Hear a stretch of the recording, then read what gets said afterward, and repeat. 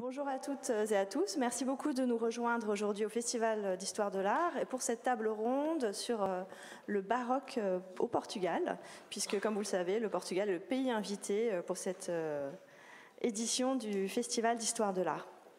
Alors, euh, la modération de cette table ronde sera assurée euh, par euh, Guillaume Kins.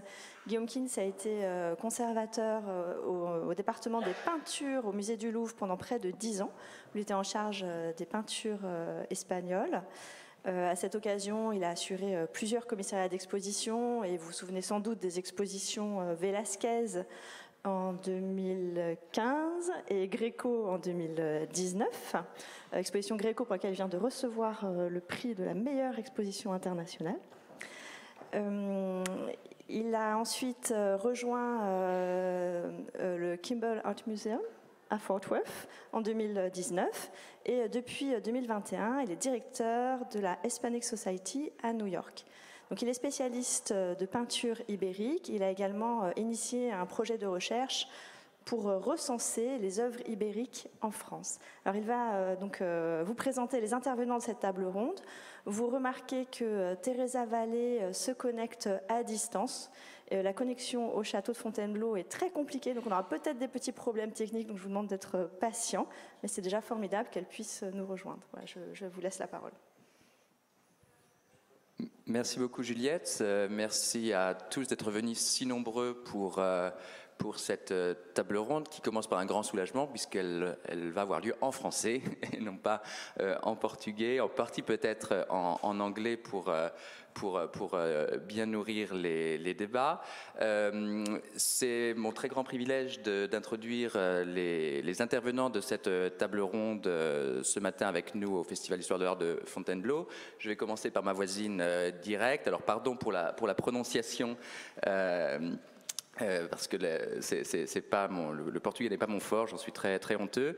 Euh, Silvia Ferreira, qui est euh, professeure à l'université neuve ou nouvelle de, de, Lisbonne et qui, entre mille choses, travaille sur les questions de circulation et d'itinérance des artistes et des œuvres, de géographie artistique, avec un, j'allais dire, un intérêt particulier pour les arts décoratifs et la sculpture, mais je crois, et cela sans doute sera une des, conclusions ou des, approches de cette table ronde sur la question du baroque au Portugal comme un art global, un art total, euh, un art, euh, euh, j'allais dire, de contagion, même si le mot, on n'aime pas beaucoup le prononcer en, ce moment. le deuxième intervenant avec, avec nous ce matin est Nuno Tenoch.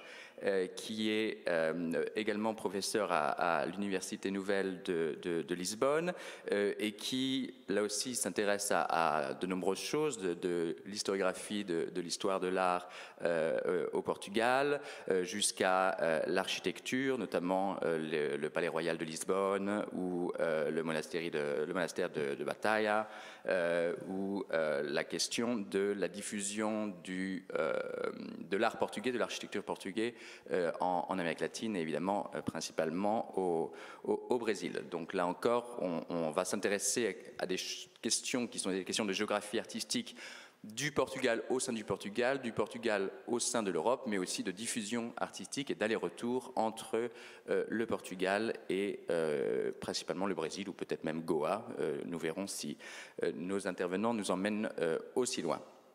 Et notre dernière intervenante, et on est extrêmement reconnaissant qu'elle nous joigne euh, qu'elle nous, se joigne à nous de, depuis Lisbonne, j'imagine, en tout cas par, euh, Zoom, qui est Teresa Leonor Valle de l'Université de, Lisbonne, euh, qui a travaillé notamment sur l'argenterie baroque romaine à Lisbonne et la question à la fois des intérieurs, des ensembles décoratifs dans, l'architecture intérieure des palais, mais aussi des jardins, mais aussi de la sculpture. Et là encore, on voit que, euh, que la question du baroque est, une, est, une, est vraiment, pardon, j'aurais réutilisé le terme contagieux, se euh, répand véritablement dans toutes les formes de l'art ou dans l'art dans euh, toutes ses formes. Euh, et euh, à vrai dire, comme nous, en discutions en, anticipant euh, notre, table ronde, c'est fondamentalement dans l'art de la peinture que la question du baroque portugais est la moins intéressante, ce qui nous, invite tous à un petit effort intellectuel puisque nous avons été éduqués dans l'idée de penser et c'est quelqu'un qui a travaillé pendant dix ans au département des peintures qui vous le dit, que euh, la peinture était l'aune euh, euh, auquel on mesure le talent d'une école, on mesure le génie d'une nation. Et je crois que cette table ronde sur le baroque portugais va, nous, faire un peu modifier ces, ces préjugés et, et ces préconçus. alors pour lancer cette table ronde, j'aimerais poser une question qui n'est pas une question facile, euh, mais qui est la, question de la définition, de la définition du mot baroque. La hum, conception généralement admise est que euh, le mot baroque lui-même viendrait de barocco en portugais, qui voudrait dire une, perle irrégulière, qui, voudrait dire une perle irrégulière. Donc je vais d'abord demander à nos, trois intervenants euh, s'ils confirment cette explication ou si c'est simplement une explication romantique et quelle serait la définition qu'ils donneraient du baroque en termes euh, stylistiques peut-être, mais aussi en termes euh, chronologiques. Quand est-ce que commence et quand est-ce que termine le baroque, si le baroque termine? Et donc voilà, je vais ouvrons, les débats euh, comme cela. Et après, je sais qu'ils ont préparé des, présentations aussi, donc on, pourra euh, euh, passer à la partie présentation. Mais d'abord, qu'est-ce que c'est que le baroque? Parce que ça nous arrange tous de dire baroque, mais on n'est peut-être pas tous d'accord sur ce que ça veut dire.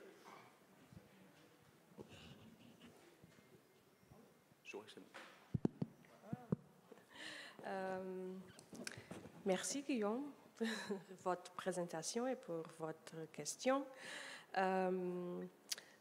Je m'excuse, je ne parle assez bien en français, mais je vais euh, tenter de, parler avec vous. Euh, on a la définition tout court de, baroque parce que vous, vous, savez que le baroque a été nombré après la perle qui, qui soit non uniforme. Euh, mais au Portugal, euh, la chronologie plus acceptée, c'est que euh, à partir de la, seconde moitié du siècle VI et plus ou moins jusqu'à 1750, please.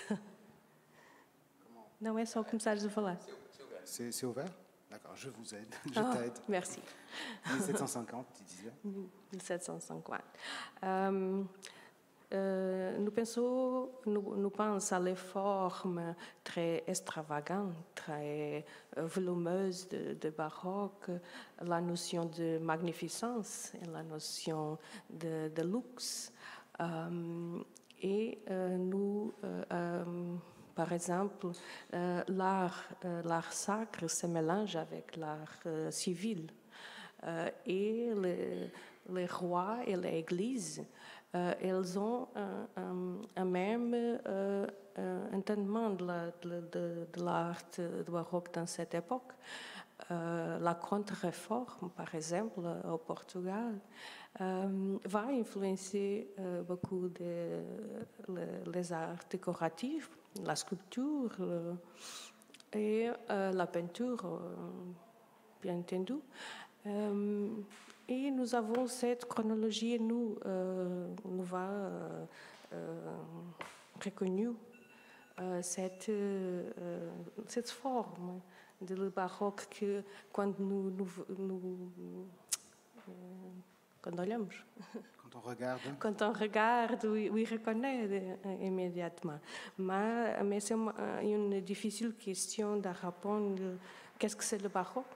Je pense que le, débat va euh, euh, aujourd'hui, continue, continue aujourd'hui, parce qu'on on, est le néo-baroque, par exemple, quand on, pense des formes extravagantes, des formes euh, plus euh, sans limite, euh, la forme qui va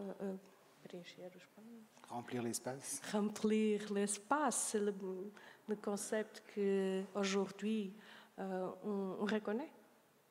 Euh, c'est difficile de, pour, pour nous, pour une étiquette de qu'est-ce que c'est le, baroque. c'est une, idée philosophique euh, aussi euh, et qui se développe avec la philosophie du 17e siècle.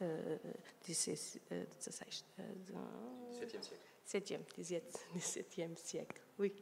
Mais au fond, c'est peut-être ça, une des définitions du baroque, c'est une notion qui ne, ne laisse pas enfermer dans une catégorie. C'est quelque chose qui sort et qui se répand euh, partout.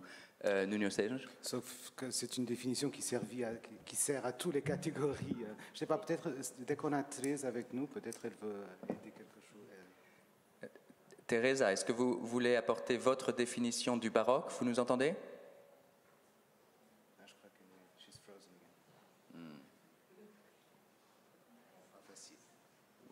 Peut-être vous voulez dire un mot, je, vais essayer de la rafraîchir. D'accord. Dans un mot, euh, c'est un, une question sans réponse, évidemment. Euh, dans ce moment-là, je me sens très baroque parce qu'on a des lumières sur nous. Je ne vois que euh, le premier rang de gens et j'imagine qu'il y a d'autres. Et cette théâtralité de cette situation est très baroque.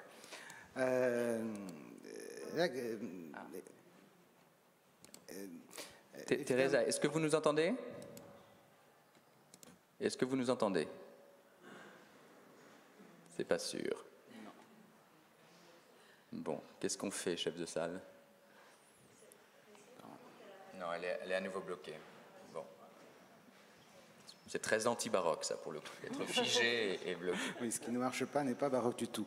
Euh, bah, c'est le métier d'historien de l'art ou de l'architecture qui est plutôt mon, mon champ c'est de regarder les objets, que ce soit des objets d'art, des édifices, etc., et de trouver des, permanences et de trouver des changes. Et puis de trouver des mots qui nous aident à voir et à comprendre ces permanences et ces changements. Euh, ce que constitue exactement chaque changement, chaque euh, permanence n'est pas nécessairement facile à dire. Euh, le baroque émerge, et, déjà nos chronologies de baroque ne sont pas les mêmes. Moi, j'ai l'avantage de travailler sur le Brésil en ce qui concerne le baroque, où il n'y a rien avant 650, donc euh, je n'ai même pas à me préoccuper avec ce qui se passe avant, parce que rien... Bon, évidemment, des choses se passaient, mais elles n'ont pas survécu et on n'a pas de, de, source, donc on ne peut pas travailler sur l'architecture brésilienne avant 1650, plus ou moins.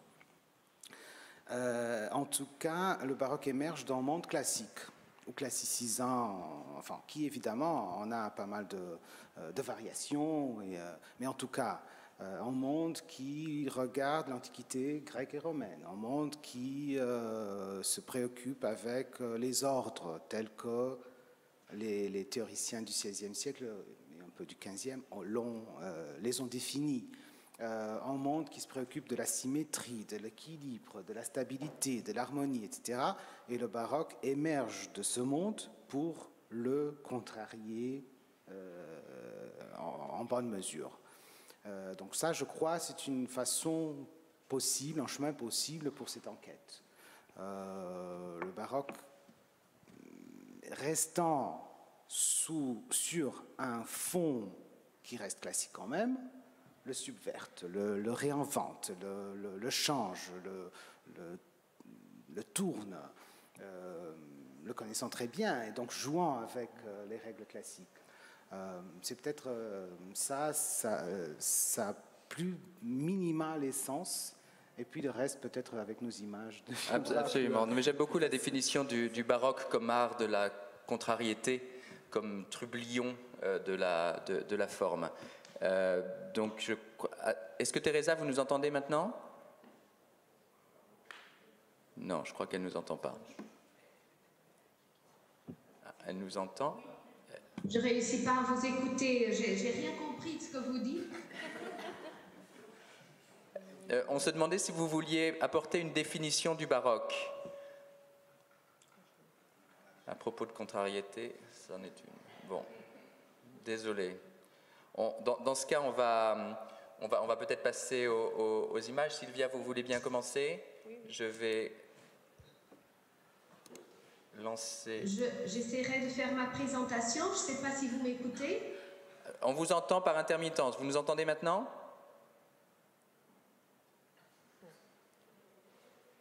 Bon. Euh. Alors, juste, il faut que je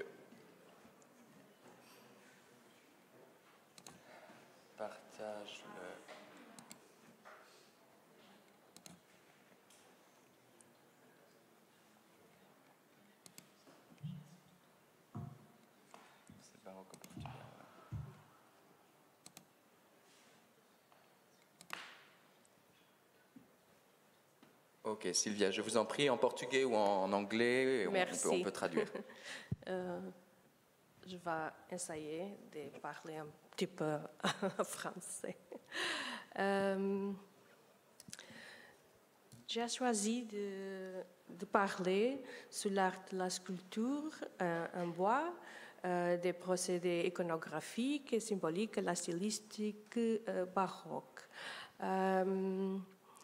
C'est le travail que j'ai euh, développé, euh, presque 20 ans sur l'art euh, de bois sculpté. What? Okay, it's good. Um, and, uh, uh, and no. Uh, et uh, je vais essayer de vous montrer quelques intérieurs des églises portugaises euh, qui euh, utilise cet art de, de, la, de la bois et, et sculpté et doré. Et euh, je commence pour l'église de la Notre-Dame de la Conception dos Cardais, à Lisbonne. C'est une église totalement baroque avec les azulejos euh, et, euh, et, tout l'art de la bois sculptée qui décore les intérieurs, euh, le grand hôtel et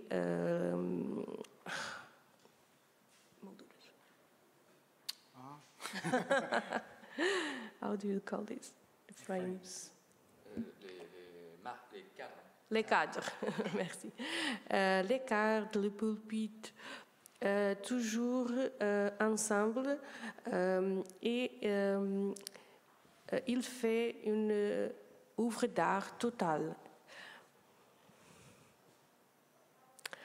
le développement de la sculpture en bois baroque au Portugal commence avec euh, le, recouvrement de la souveraineté du royaume sur la Castille en 1640 euh, et il a contribué à la révigoration du sentiment, national et directement au euh, développement de la tradition portugaise de la sculpture sous bois.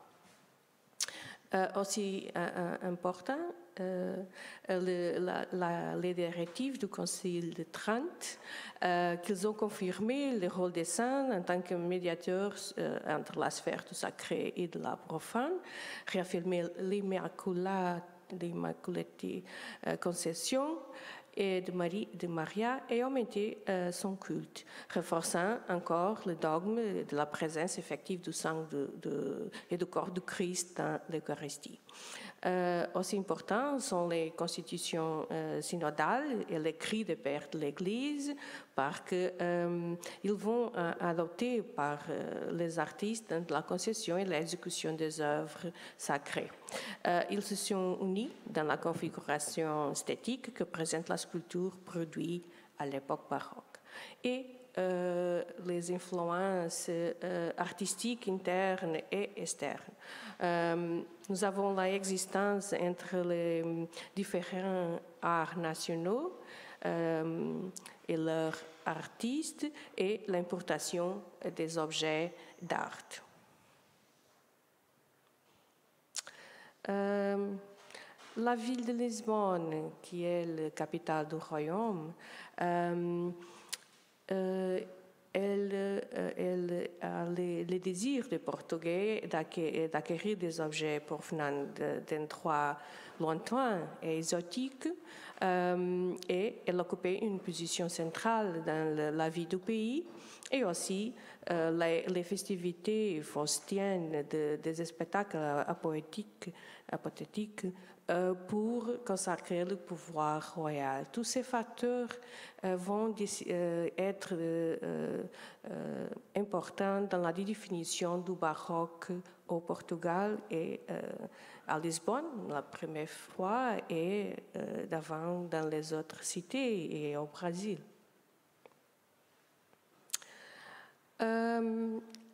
les principaux moyens de diffusion euh, sont les œuvres qui, en leur temps, sont devenues paradigmatiques, les dessins, les graveurs, traités d'architecture et documentation, et le goût introduit par certains artistes étrangers qui sont venus travailler en Portugal, et les nouvelles euh, orientations artistiques euh, véhiculées par des objets importés principalement de Rome et de France. Euh, je vous vais euh, montrer des exemples de, des arts décoratifs du baroque portugais. Euh, la, photo au bout et à la gauche, c'est les incrustations en marbre. C'est le chancel de l'église de Sainte-Marie de l'Or, que c'est une ville presque de Lisbonne.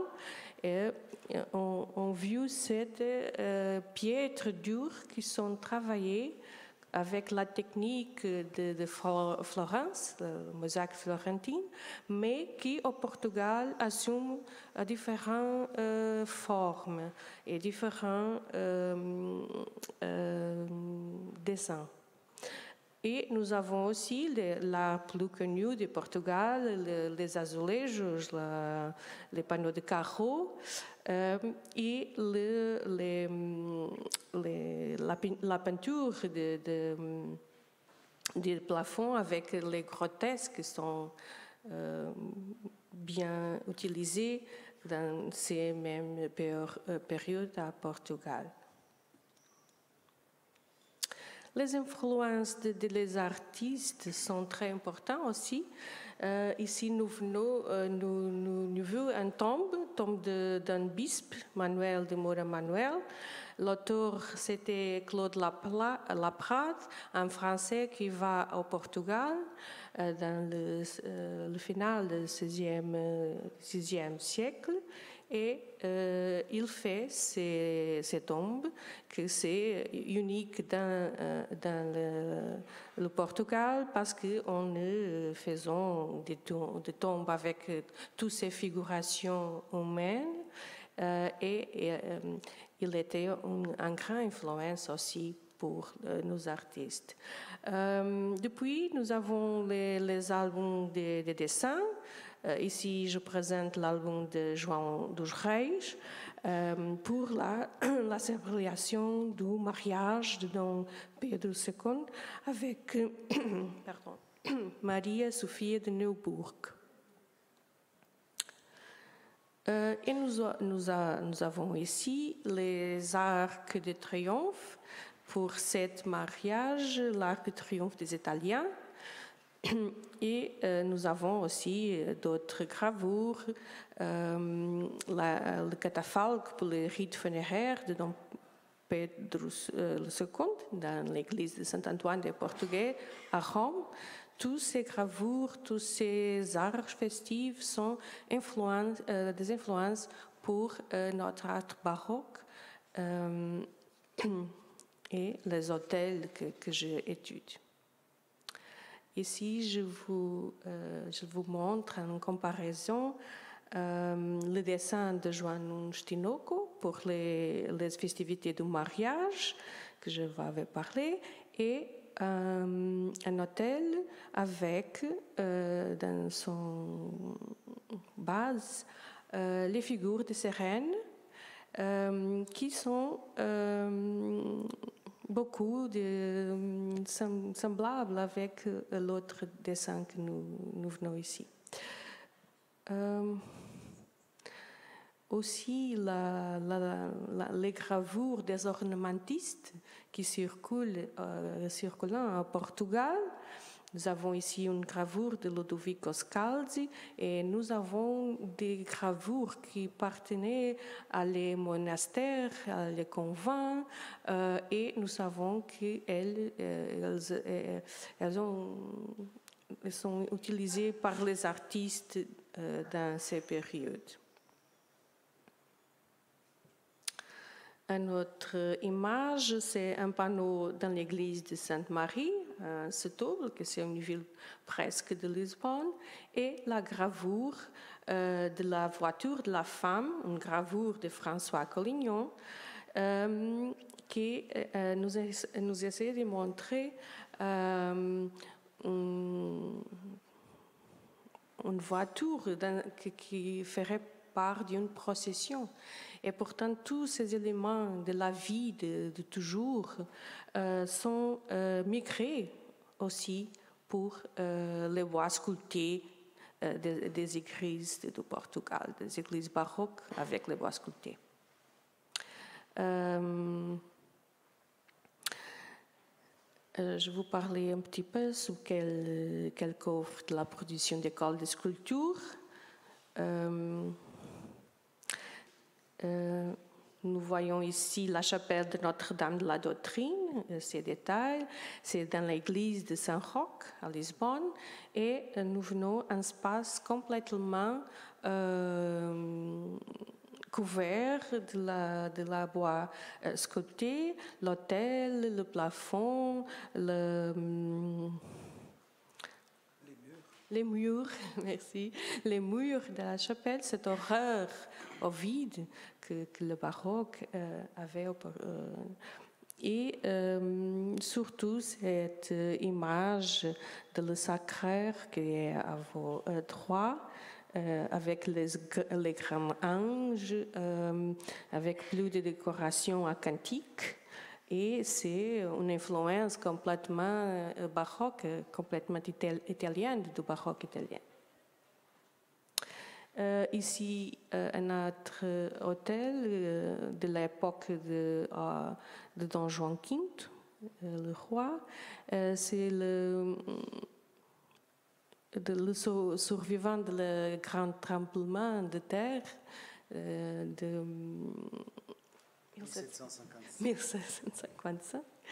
Euh, et avec de- beaucoup de sculptures, c'est un baroque plus romain, plus euh, élégant, si vous voulez, euh, et bien haut et majestueux, avec les, les colonnes salomoniques, la- comme la. la o coisa do Bernini no Vaticano? Le Baldaquin. Le Badaquin de Bernini euh, au, au Vatican. Et tout, la sculpture euh, de voûte, la sculpture romaine, une grande position avec les drapeurs très euh, volants et les, gestes de la, de, la, de la figure.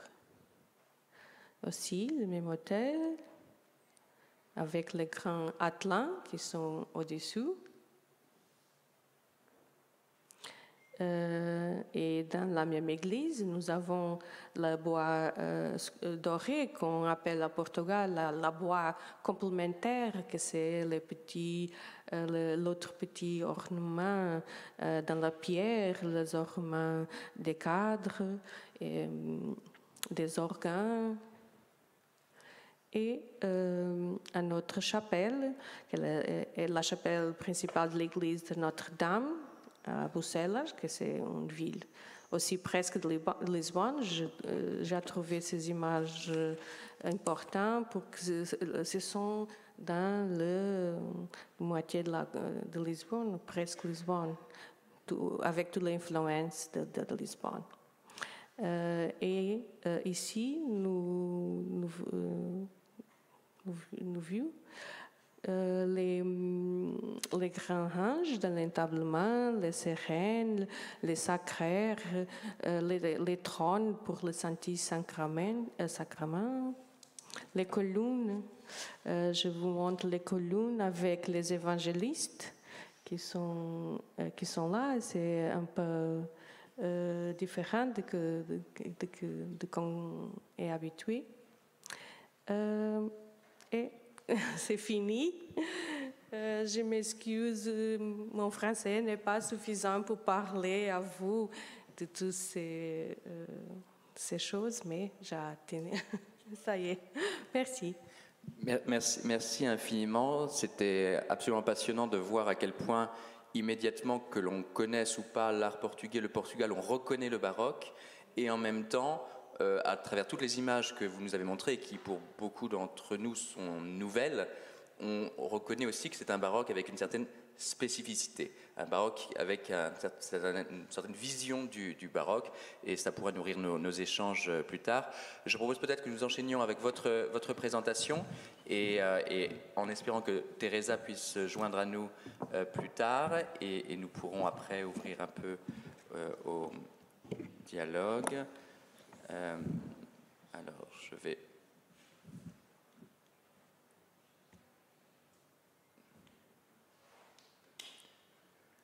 repartager l'écran cette fois-ci. C'est celui-ci, non? Ouais. Non Eh bien, je vous revois. Ah Est-ce que vous m'écoutez? Euh, Oui, oui. On... Et, et on, on, vous écoute, ça a l'air de marcher. Donc peut-être que vous pouvez faire votre présentation maintenant? Eh bien oui, oui, je commence. Allez. J'ai rien écouté jusqu'à jusqu ce moment. Mais non, rien du tout. J'ai rien vu. Mais je ferai ma présentation, on parlera après, si vous voulez bien. Faites-la maintenant, allez-y. Ça, ça, a l'air de marcher. Oui, il faut, faut, profiter de la providence. Allez-y. Eh bien, alors je commence.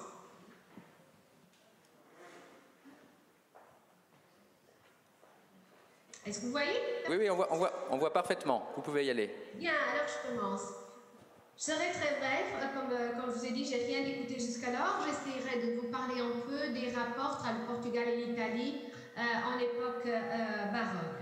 Et c'est dès le XVIIe siècle, et grâce un peu à la réouverture progressive de le, du Portugal à l'Europe et à l'Italie et en Rome en particulier, que l'Italie fait l'objet d'une attention préférentielle en matière artistique. Un rôle euh, particulièrement important dans ce processus fut joué par les diplomates envoyés à Rome en quête d'une reconnaissance pontificale pour l'indépendance retrouvée dès 1640, euh, dans un premier moment, dans un premier temps, et pour la ré résolution de nombreuses autres affaires, soit politiques, soit ecclésiastiques. Les à Rome effectués par des membres du clergé notamment par des religieux réguliers dont les autres autorités des congrégations respectives étaient basées dans la ville pontificale, constituait-il un important moyen de contact, de circulation d'idées, de modèles et euh, d'œuvres, bien sûr.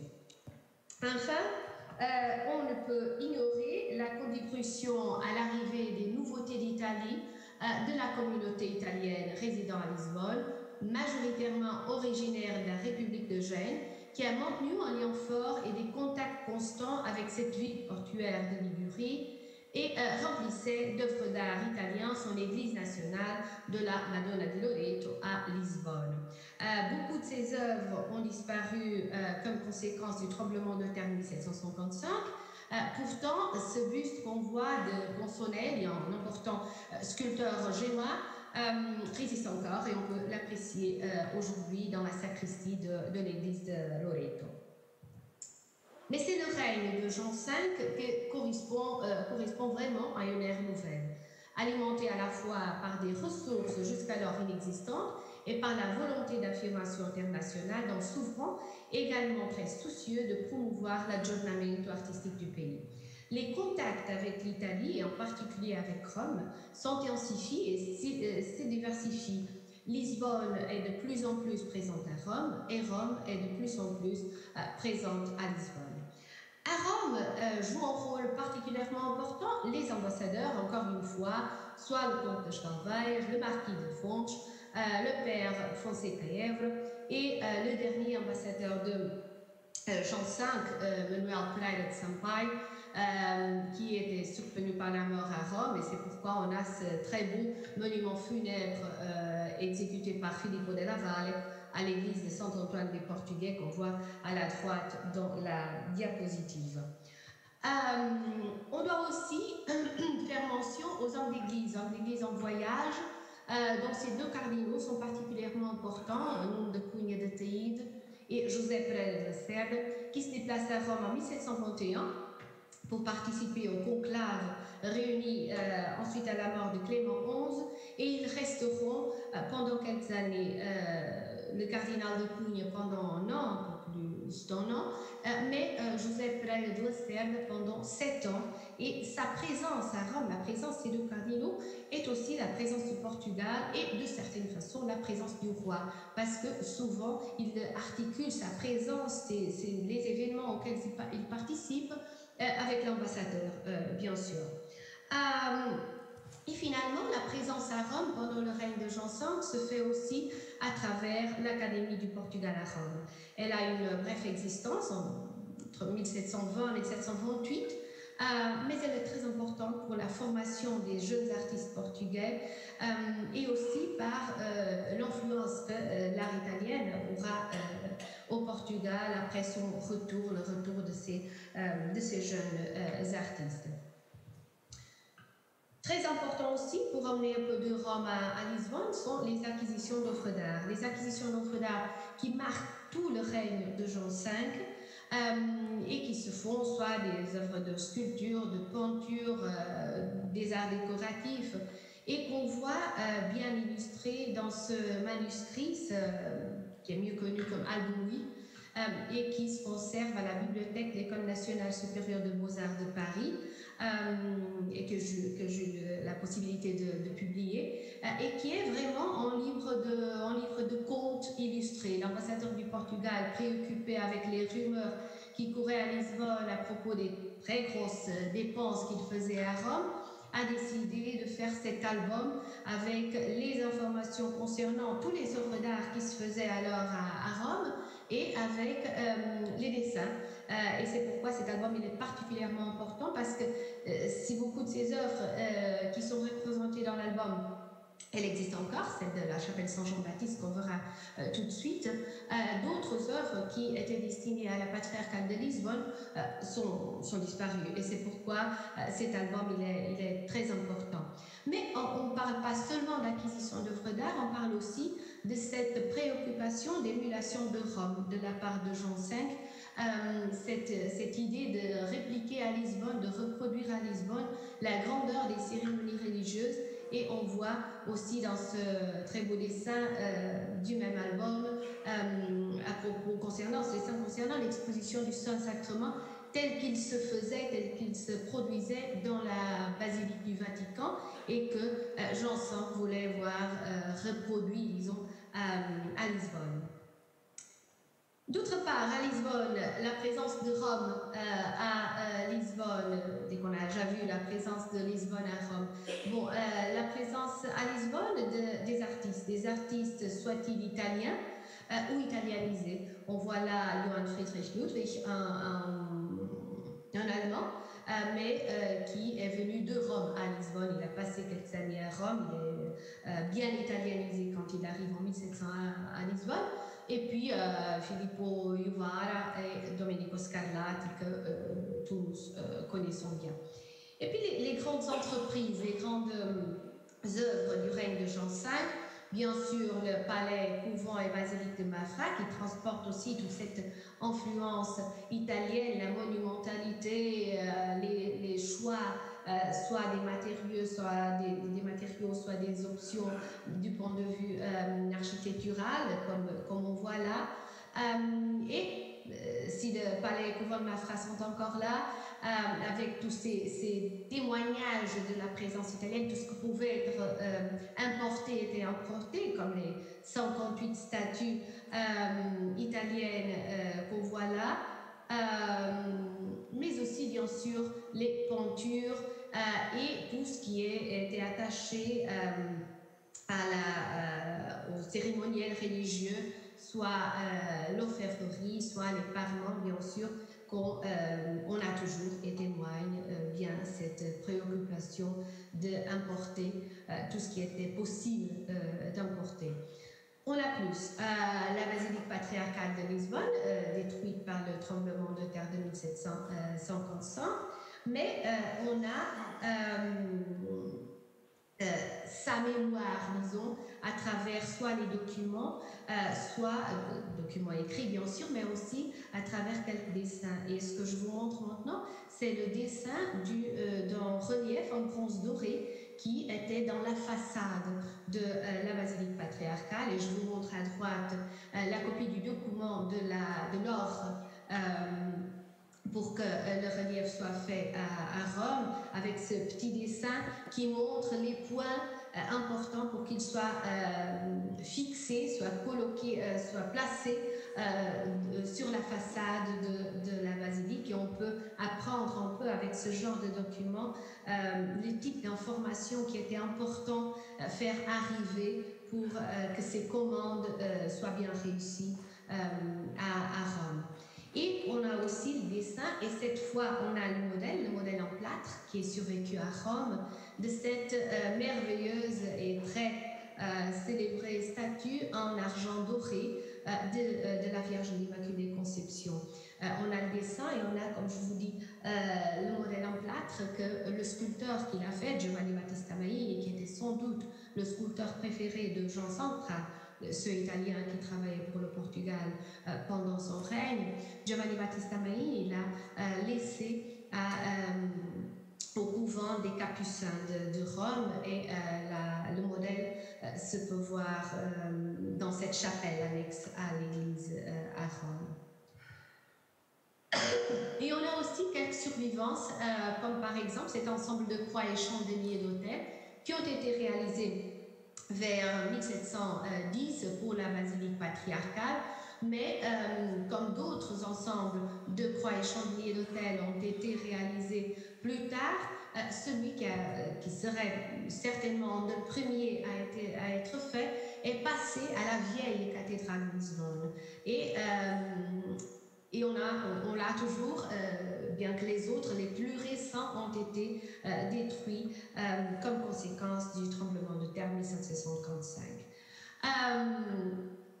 Le grand témoignage de, ces importations d'œuvres d'art, de cette idée de porter Rome à Lisbonne, c'est sans doute la chapelle de Saint Jean-Baptiste, l'église de, Saint Roch, qui a été faite toute, complètement à Rome, bien sûr, à partir de 1742, les premiers documents qu'on a, euh, à propos de, l'ordre pour réaliser euh, la chapelle datent de 1742 et les dernières œuvres euh, sont arrivées dix ans plus tard quand le roi était déjà mort puisqu'il est mort en 1750. c'est un, parfait exemple d'œuvre d'art total avec cet effet de bel composto qui le baroque cherche euh, euh, constamment. Et euh, on peut apprécier soit le travail bien sûr de l'architecture, soit des métaux, soit le travail des pietre dure qu'on qu'on peut apprécier, mais aussi le rôle que la sculpture joue dans la chapelle et bien sûr les mosaïques fait euh, à Rome, bien sûr, comme toute, toute la chapelle.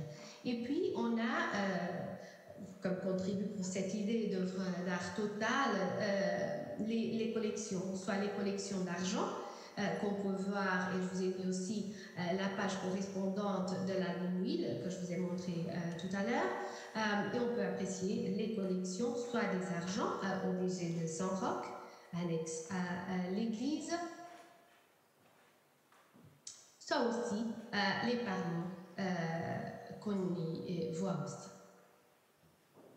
Eh bien,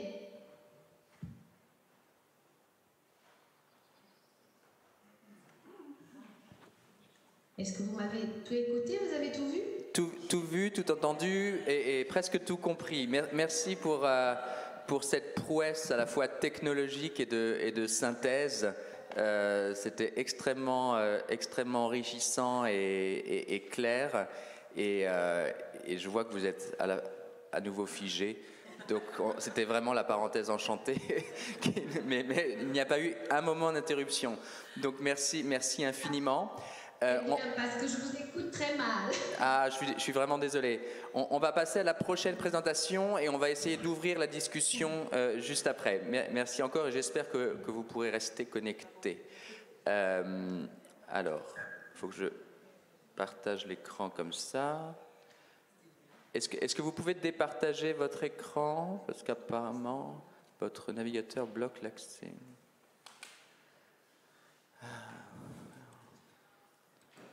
Ah, le monde de Zoom. Alors si je fais ça, voilà.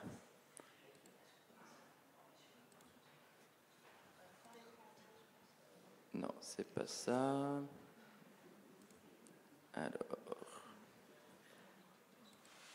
Mais il est là pourtant. Alors attendez, je vais essayer d'enregistrer sous.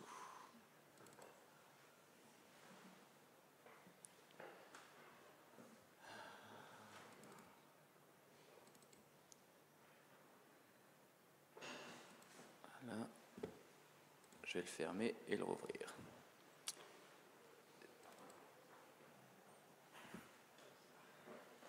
Et avec un peu de chance, on y est.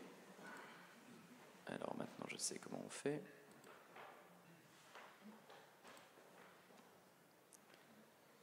Voilà. On va y arriver, je vous assure. On y est. À vous. Merci beaucoup. Alors, euh, c'est mon rôle aujourd'hui de vous souvenir que, brièvement évidemment, qu'au temps du baroque, le temps qu'on discute ici aujourd'hui, le Portugal était un pays multicontinental euh, qui comprenait des territoires en Asie, en Afrique et en Amérique du Sud. Une euh, réalité dispersée qui n'était pas nouvelle. Le Portugal la connaissait depuis le 15e et euh, dès ce temps lointain, le, pays a développé des stratégies artistiques et architecturales différenciées selon le territoire en question. C'est-à-dire que les églises, les maisons, enfin les édifices que les Portugais ont construits, par exemple en Inde, n'ont pas forcément obéi au même type de préoccupation, au même principe que ceux qu'ils ont érigés en Chine ou en Japon. Dans cette variété de territoires, le Brésil est probablement euh, celui euh, où les propositions artistiques de la métropole et architectoniques de la métropole ont été suivies de plus près. Il est aussi la partie de l'Empire la plus riche et dynamique au temps du baroque, soit grâce au sucre, à l'économie du sucre euh, au XVIIe siècle, soit grâce à la découverte des mines d'or au siècle suivant. Euh, c'est la richesse du sucre qui, au milieu du XVIIe, préside à la construction des, des, premiers édifices qui cherchent à contrarier les valeurs de la stabilité, de l'équilibre, etc., consacrés par la Renaissance, les premiers édifices qui s'animent de forme ronde, dynamique, qui impriment un mouvement aux édifices qu'ils ne connaissaient pas auparavant. La plus ambitieuse entreprise constructive de ce siècle au Brésil est celle de l'église jésuite de Salvador, à Bahia, où la façade entièrement couverte de pierre, cas unique dans le pays à cette époque-là, euh, elle aussi utilise deux grandes volutes dans son couronnement qui prêtent à l'ensemble un mouvement que le reste n'accompagne que, que le reste de la façade n'accompagne que timidement. À l'intérieur, l'architecture plutôt sévère est contrariée par la réverbération de la taille dorée, euh, construisant un ensemble assez impactant.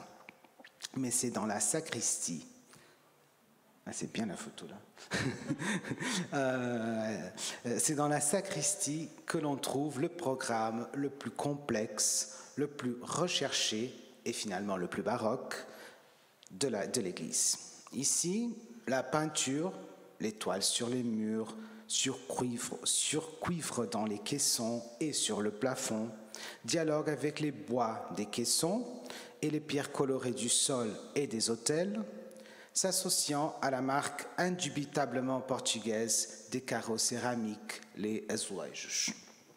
Il est difficile d'imaginer quelque chose plus portugaise que ce mélange tout particulier, quoi qu'il soit de l'autre côté de l'océan. C'est euh, précisément ce mélange qui triomphe dans le baroque à l'aube du XVIIIe, à la fin du XVIIe et à l'aube du XVIIIe. Et c'est, euh, enfin, euh, précisément ce mélange qu'on appelle, en général, que la bibliographie appelle en général le baroque brésilien. Il faut ne pas oublier, évidemment, que au tout début du XVIIIe, on a trouvé une quantité énorme, énorme d'or dans la région qui euh, aurait le nom de Minas et qui change tout complètement le fonctionnement de la colonie. Euh, il faut en effet construire tout un nouveau pays, un pays intérieur qui s'ajoute, ou qui va s'ajouter à partir du XVIIIe, au pays littoral, plutôt littoral, qui existait jusque-là. C'est surtout à Minas, dans cette région, qu'une architecture ronde et en mouvement apparent connaîtra son triomphe majeur. Je vous montre la plus fameuse de ces églises, celle de Rosario à Ouro Preto, et j'ai choisi deux autres exemples être synthétique. Euh, l'église de Saint-Pierre à Marianne, et finalement euh, celle de Saint-François encore à Ouro Preto. Euh, enfin, c'est ce qu'on appelle, ce que les auteurs qui travaillent sur le Brésil, qu'ils soient brésiliens ou pas, appellent le baroque mineiro, le baroque de Minas, est sûrement euh, l'épisode le plus euh, étudié, ou au moins celui sur lequel on écrit le plus qu'en ce qui concerne le, le, Brésil colonial.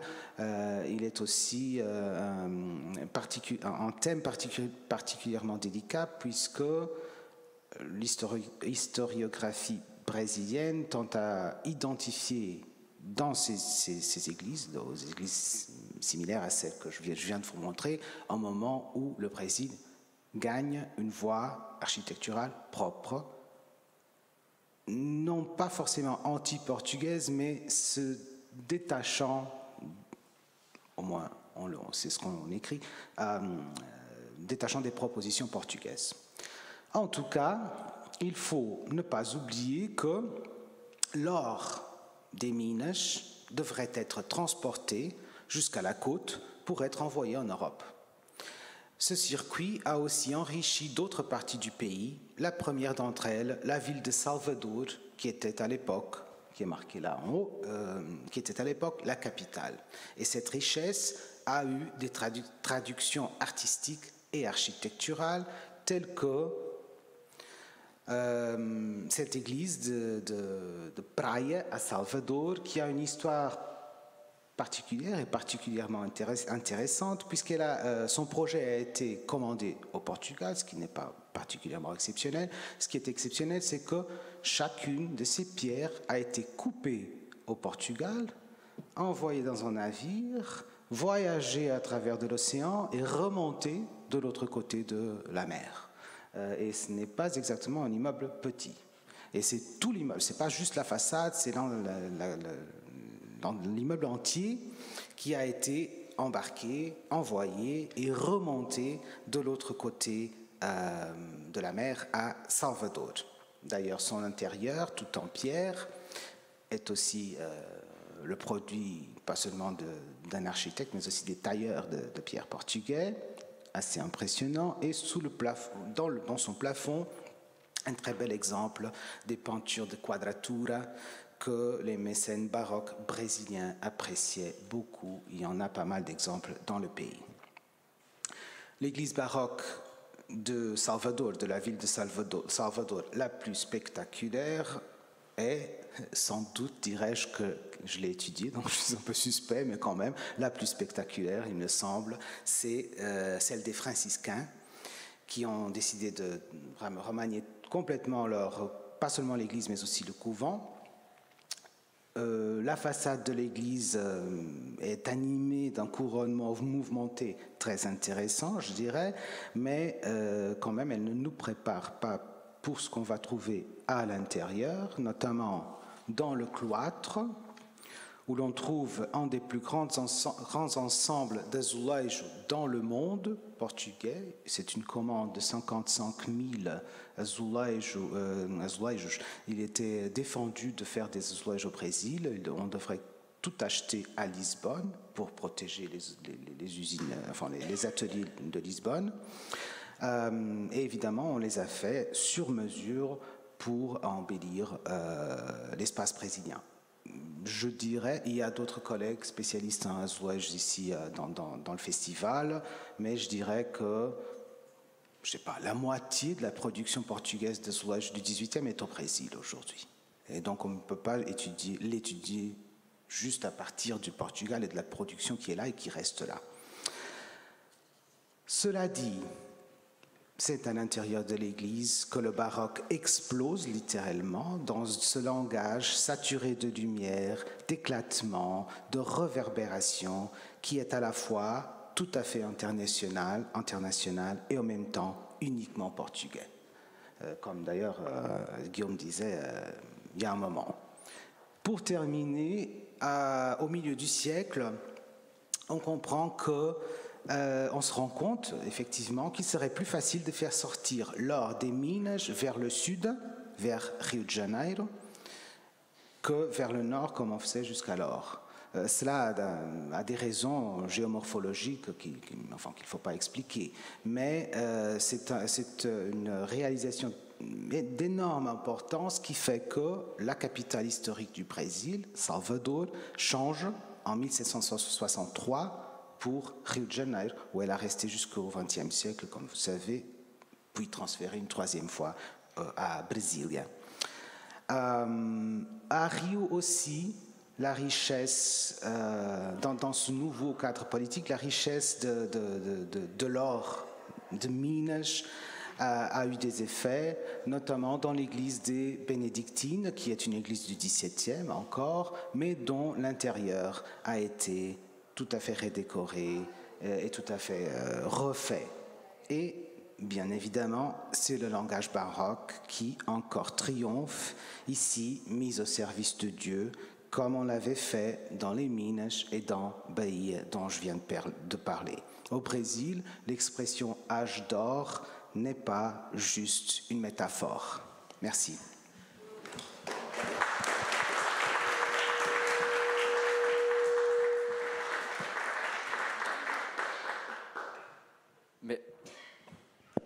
Merci beaucoup pour ce, voyage euh, aux, confins du, du, Brésil qui, montre, et on va pouvoir en parler, ces phénomènes de, diffusion, d'assimilation, d'hybridation, etc. Euh, je trouve très intéressant que vous ayez terminé par cette euh, image qui montre une liturgie parce que comme nous l'avons vu, le baroque est vraiment à la fois un art total et un art de la totalité, et il y a quelque chose qui nous manque dans notre appréciation, dans notre expérience du baroque aujourd'hui, c'est euh, l'utilisation baroque du baroque. C'est-à-dire, c'est la liturgie qui avait lieu dans ces églises, c'est la vie de cour qui avait lieu dans ces palais, c'est la vie euh, civile qui avait lieu dans ces villes, etc., etc., etc., et qui euh, entretenait un, presque une chorégraphie globale de laquelle le baroque était le, le, théâtre. avant peut-être qu'on lance dans les débats, j'avais une, une question par rapport à, la question de l'intérieur et de l'extérieur. Fondamentalement, dans les églises en fait, que vous avez euh, montrées, la base, je ne veux pas dire qu'elle est simple, mais elle, a une forme de régularité qui est animée, qui est un tout petit peu taquinée par des motifs baroques, mais il y a un phénomène d'explosion, comme vous l'avez dit, et comme euh, Sylvia nous l'a montré, dès lors qu'on est à l'intérieur. Euh, qu'est-ce, que, ça raconte?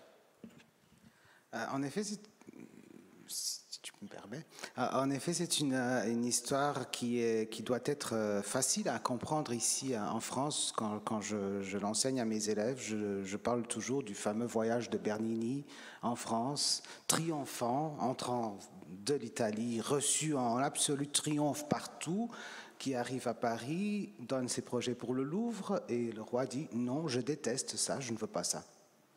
Euh, et c'est euh, en effet, bon, évidemment, on a une tradition énorme historiographique qui nous enseigne sur Bernini et Borromini, etc.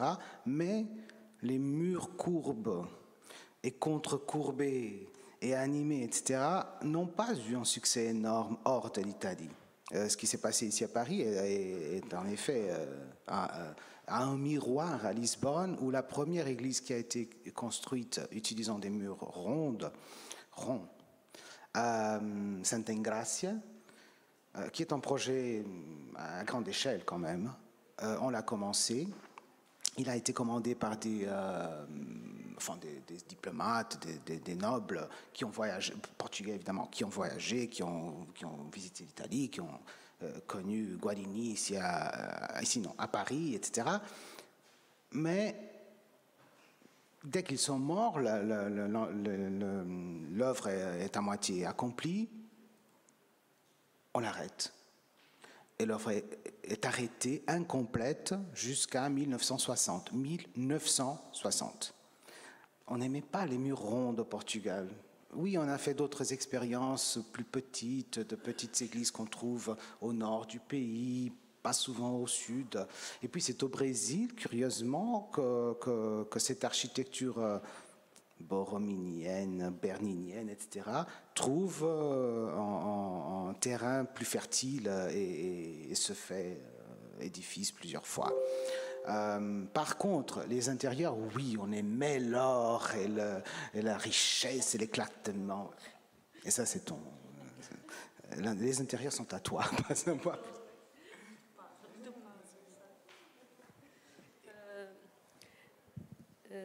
Je dis à nous que nous avons la folie de l'or euh, parce que euh, l'or représente euh, la lumière, l'intelligence. L'intelligence divine. L'intelligence divine et dans l'Église. ça, ça marche très important pour nous et, démontrer la richesse aussi, la richesse du royaume avec, avec tout l'or et le splendeur de, de, cette euh, richesse. C'est vrai, euh, les intérieurs sont très euh, élaborés, comme j'ai montré, comme nous nous montré au Brésil, sont très élaborés et l'extérieur très simple. si vous allez à Lisbonne, vous, vous passez dans la rue et, vous, euh, regardez une église, vous regardez un convent, très riche convent, dans l'intérieur, et vous passez dans la rue et euh, vous, ne, regardez pas le, le, convent parce que c'est égal à, euh, à, tous les autres édifices. Si c'était une marque portugaise dans le baroque. Un art de la surprise, c'est une des autres multiples définitions peut-être qu'on peut ajouter. Et puisque vous avez terminé sur cette question de euh, marque portugaise du baroque, justement, est-ce qu'on pourrait trouver des critères de définition ou des éléments qui puissent caractériser le baroque portugais par rapport au baroque italien, on en a beaucoup parlé aussi, mais on pourrait parler du baroque espagnol qui est, juste à côté, à la fois en Amérique latine et, euh, sur la péninsule ibérique. Euh, je pense que c'est l'art total avec les azulejos, les, carreaux, euh, avec la peinture, la peinture de perspective, de grotesque, le bois sculpté et doré, c'est les ensembles qui définissent mieux le baroque portugais. Et et aussi, pour moi, les bois sculptés, la taille, c'est très différent de la taille euh, espagnole. Parce que nous, euh, je pense que nous utilisons euh, les ordres classiques un plus et les Espagnols, ils convertent. convertent convertent et, subvertent même. Ils subvertent les ordres et ils attachent plus d'éléments sculptorique et on voit, euh, parfois on ne voit pas, euh, on ne voit pas presque la structure de, les hôtels. C'est avec plus d'éléments décoratifs. Et en Portugal, je pense que c'est un peu différent. La, la structure est bien entendue par l'observateur. Euh, et euh, l'ornement est très euh, est, choisi avec euh, euh, de formes cuidadosas. Soignées. Soignées, oui. Bah, la taille, c'est sûr, dès qu'on a l'œil entraîné, la taille portugaise n'est pas égale à, d'autres. Enfin, la taille en, en, Italie, elle n'est pas énorme. En Espagne, oui, la taille triomphe. Ce que je trouve uniquement portugais et qu'on ne trouve nulle part d'autre, c'est l'azulejo, évidemment, mais, plus que ça, c'est la euh, convivialité. Convivialité, peut-être j'invente un mot. Euh, c'est ce, vivre à côté de la forme la plus pauvre de l'art, l'azulejo, qui est très mm, bon marché à faire, enfin c'est pas cher, etc. C'est pas de l'or, certainement pas de l'or. Juste à côté par exemple, la sacristie que je viens de vous montrer à Salvador, dans les meubles, dans les caissons, il y a les meilleures peintures qu'on trouve au Brésil. Elles sont italiennes, on les a achetées à Rome et emmenées à Salvador. Et en dehors, euh, au-delà, dans les murs, derrière ces peintures, des azulejos, la forme la plus pauvre d'art que l'on peut imaginer. Et ça se passe partout dans le monde portugais, sans aucun complexe, sans aucune... C'est comme ça ça devient, ça est devenu normal. Et ça, je trouve tout à fait portugais. On ne trouve pas ça nulle, nulle part d'autre. Alors j'aime beaucoup le mot que vous avez inventé, la convivialité ou je ne sais pas quoi, parce que je pense que vous vouliez dire cohabitation, mais c'est une cohabitation extrêmement conviviale, c'est-à-dire que ça se passe bien. Sans problème. Et donc c'est une sorte de convivialité. Euh, je crois que le, mot peut, le mot peut rester. Euh, alors je regarde un peu le temps, on a encore un peu, de temps. Euh, je voulais revenir un peu sur, la question de la, chronologie et la question du baroque comme quelque chose qui n'est pas purement artistique, mais qui est aussi philosophique et, politique. Est-ce que l'on peut euh, se demander si l'un des intervalles possibles chronologiques pour le baroque euh, peut être entre 1640 et 1755 pour deux faits qui sont extrêmement importants. 1640, c'est la restauration de la monarchie portugaise, et 1755, c'est le tremblement de terre et d'une certaine manière la disparition physique d'un monde baroque et le monde qui se reconstruit après se reconstruit pour des raisons architecturales, pour des raisons esthétiques, mais aussi pour des raisons euh, politiques et programmatiques dans un style et avec des, un agenda qui est, différent. Euh, donc dans quelle mesure est-ce que le temps politique marque le temps esthétique et le temps esthétique marque le temps politique? Bon, je dirais que cette question n'est pas égale si on la regarde à partir du Portugal ou à partir du Brésil. Euh, au Brésil, l'esthétique baroque s'est prolongée jusqu'au 19e. En effet, jusqu'au 19e. Il y a des, changements, évidemment. C'est pas la même chose. Euh, un hôtel qui est fait en 1650 n'est pas égal à un hôtel fait. Mais cette idée de, de spectacle, de anticlassicisme, ou au moins pas classicisme euh, tout à fait. Ça se prolonge jusqu'au 19e, je dirais. Euh, au Portugal, je ne sais pas. Euh, dans la métropole, disons, je ne sais pas si 1755 est évidemment une, frontière pour pas mal de, de phénomènes. Au nord du Portugal, qui n'a a souffert, qui, qui, qui n'a pas, souffert. le tremblement de terre avec cette intensité. Euh, nous avons le baroque euh, à, la, à la fin du deuxième siècle. C'est notre... Euh, c'est non égal. C'est pas la même chose, c'est pas égal, c'est pas la même chose. Pas égal dans tous les, les pays. À Lisbonne, on avait la question politique mais euh, les questions économiques, économiques mhm. aussi parce que la cité doit être reconstruite et très rapidement. et nous ne devons pas construire les hôtels de, de baroque avec tout l'or et tout. non, vous, nous allons construire des hôtels à la façon néoclassique. C'est moins cher, c'est plus rapide et je pense que ça marque aussi la différence un plus, plus rapide installation de le néoclassique à Lisbonne. C'est effectivement une, une, considération pragmatique, mais qui, joue beaucoup plus qu'on le veut bien le croire souvent en histoire de l'art, que parfois les choses changent parce que c'est plus facile, ça va plus vite, des nouvelles techniques, et, etc.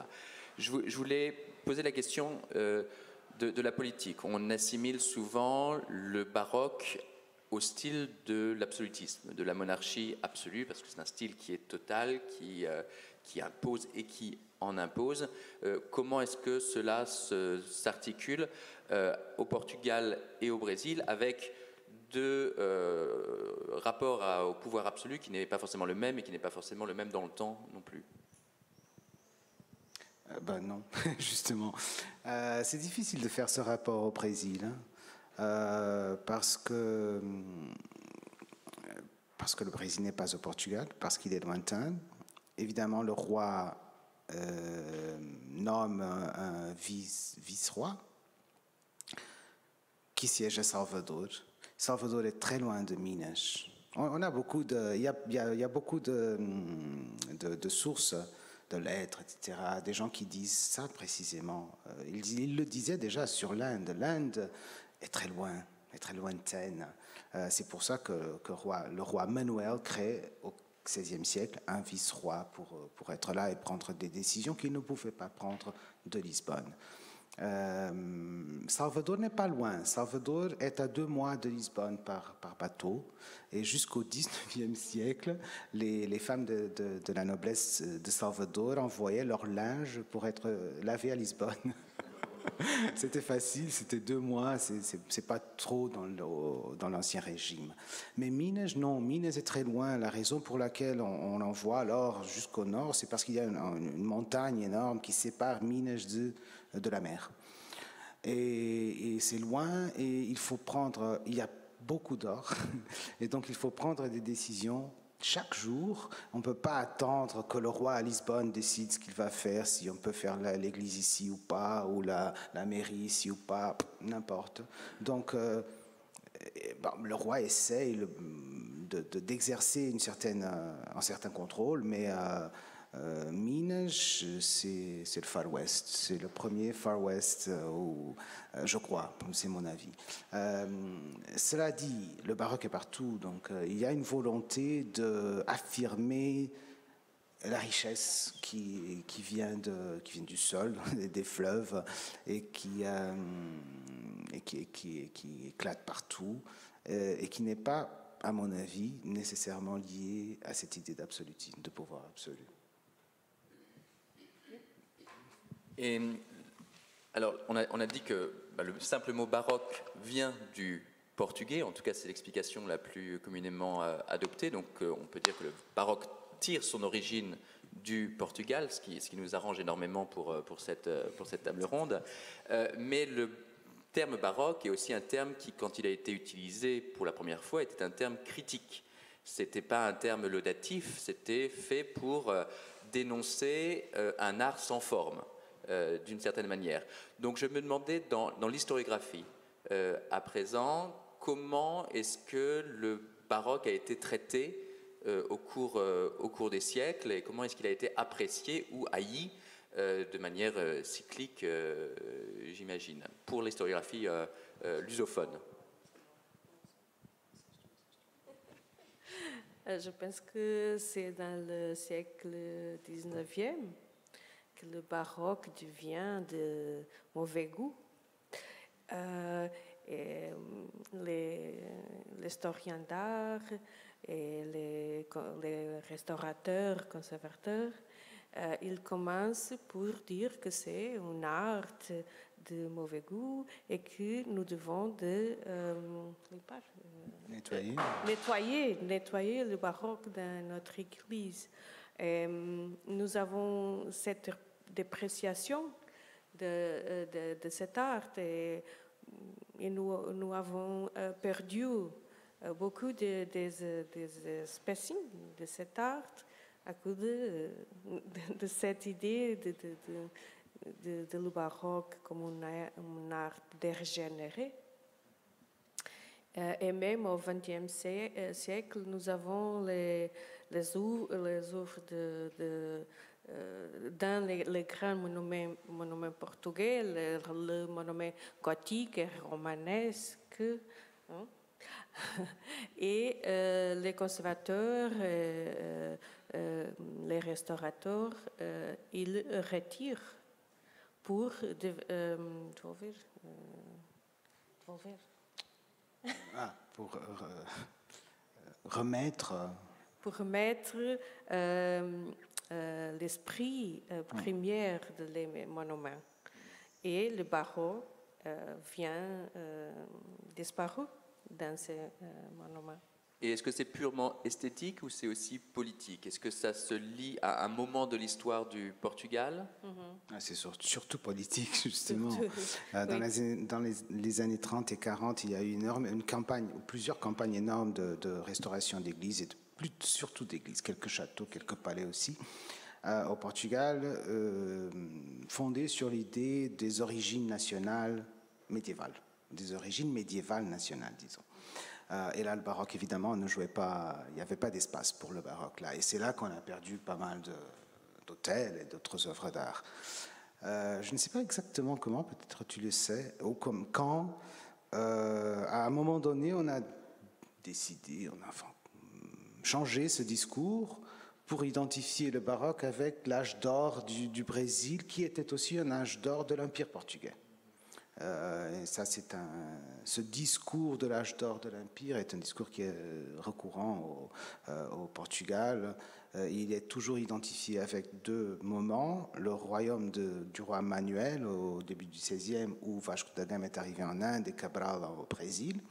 Et le, royaume de règne de, Jean V, la première moitié du XVIIIe, lors du Brésil. Ce sont les deux âges d'or et donc, à, un moment donné, euh, cette, euh, vision du baroque comme symptôme d'une âge d'or a été récupérée et maintenant elle est euh, aux années 40 aussi. Hein. Avec l'exposition du monde portugais de 1940 et aussi avec le, les chercheurs étrangers qui viennent au Portugal, euh, euh, Robert Smith, euh, Germain Bazin, qui, qui, fut le directeur de Louvre, et, ils, ils commencent par dire vous avez des, œuvres d'art merveilleuses. De la, et je pense qu'à partir de ce moment, quand viennent les étrangers, Portugal dit, vous avez des belles œuvres et vous ne les regardez pas. Euh, et il commence à rechercher. Et cette époque du baroque commence à ressurgir. Et ça s'inscrit évidemment dans un phénomène qui est aussi plus global, parce que la, la, la redécouverte et la réalisation d'études, notamment du XVIIe siècle en France, mm. est à peu près dans ces, dans ces, dans ces, dans ces mêmes années. Donc, ces années. Donc, Tout à fait. Je crois, je crois qu'on est au, au, au, bout un peu de, de, notre euh, temps. Je vais essayer de faire revenir à la surface Teresa pour voir si peut-être elle a quelque chose à ajouter. Alors, autorisé. Teresa, êtes-vous avec nous? J'ai l'impression que c'est une séance de spiritisme. Si vous êtes avec nous, tapez deux fois. Bon. Non, je crois, je crois qu'elle est. Oui, non, je crois qu'elle est dans les. Ah, je vois un œil qui cligne. Teresa, vous nous entendez? Non, elle est, elle est- elle est de l'autre côté. Ah, Oui, je vous entends très mal parce que j'ai eu euh, un problème de son. D'accord. On, on arrive au bout. Je ne sais pas si vous avez réussi à suivre nos échanges. Oui. Je ne sais pas si vous avez réussi à suivre nos échanges, mais si vous avez réussi à les suivre, est-ce que vous avez quelque chose, des commentaires à ajouter? Non. Non, j'ai rien entendu. Première diapositive de la présentation de Nuno et rien de plus. Bon, bon, c'est. Alors, j'ai l'impression que ça a été enregistré, donc avec un peu de chance, vous pourrez voir ça en, en différé. Et en tout La cas, et ça nous donnera l'occasion de tous nous retrouver, euh, pourquoi pas euh, au Portugal ou au Brésil, et de, poursuivre ces, échanges. Euh, ben, je vous remercie tous infiniment pour votre participation. Je vous remercie pour avoir assisté à cette conférence. J'espère qu'elle vous a intéressé. Et, l'un des principes du Festival d'histoire de l'art de Fontainebleau, c'est que c'est extrêmement informel. Donc n'hésitez pas à, venir euh, nous voir, surtout voir euh, les, intervenants de cette, euh, de cette table ronde et poser d'autres questions, échanger des contacts. Voilà, soyons un peu baroques et traversons les frontières. Merci beaucoup et bonne fin de festival.